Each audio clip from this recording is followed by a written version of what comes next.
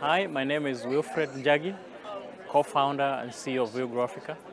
Vilgro Africa is a healthcare-focused incubator, the oldest healthcare-focused social enterprise incubator. And this is our eighth year. As you saw yesterday, we were launching our seventh year impact report, and very happy to be here. Vilgro and Sankalp go way back. We started associating with them in India. Uh, you know, Vilgro has original roots in India. We used to organize what was called Sancap and Convention, which was a joint partnership. And we did that for a couple of years. And then when we were expanding to Kenya, we used Sankalp as a launchpad. So we came for the very first Sankalp in 2014. We met a few partners, stakeholders, donors, scanned the market, and we liked what we saw here, and we ended up launching here. And then in 2015, we had like an official launch at a Sankalp event.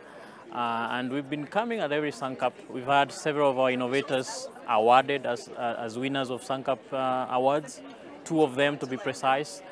And this year's Sankalp, we use it to launch our impact report. So you can see it's been spanning over many years and is a very, uh, partnership we are very excited to be part of.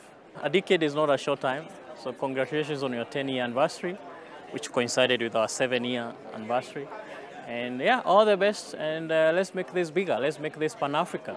We are happy to be part of that journey.